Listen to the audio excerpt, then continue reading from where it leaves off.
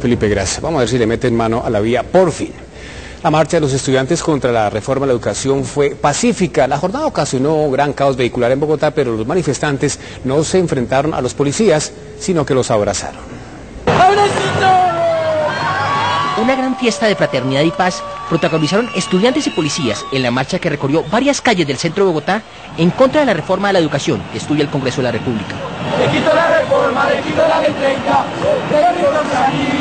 Con máscaras, antorchas y carteles, más de 8.000 jóvenes hicieron una fiesta exigiendo la respuesta al gobierno. Mediante ese código barras estamos representando la venta de la educación eh, como quiere transformar el gobierno de derecho a mercancía la educación. La otra cara la vivían cientos de conductores. Un gran trancón por la carrera 37 que se prolongó por varias horas.